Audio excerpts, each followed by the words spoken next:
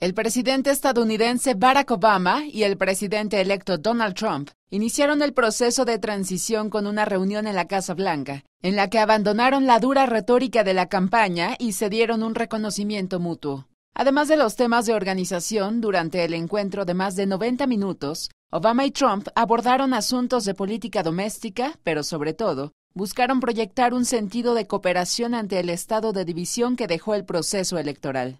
My number one priority in the coming two months is to try to facilitate a transition that ensures our president elect is successful. En la oficina oval, donde Obama y Trump ofrecieron breves declaraciones, el aún presidente de los Estados Unidos se dijo alentado por la disposición de Trump para trabajar con su equipo.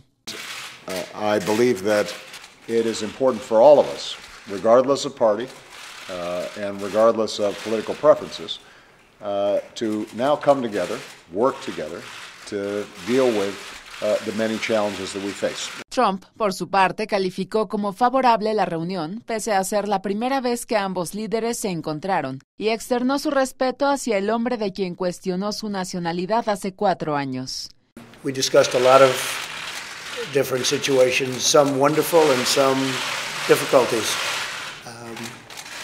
I very much look forward to dealing with the president in the future, including. La primera dama, Michelle Obama, se reunió por su parte con Melania Trump, quien en unas semanas asumirá las responsabilidades que ella condujo durante los pasados ocho años. Con información de Rubén Barrera, corresponsal en Washington. Notimex.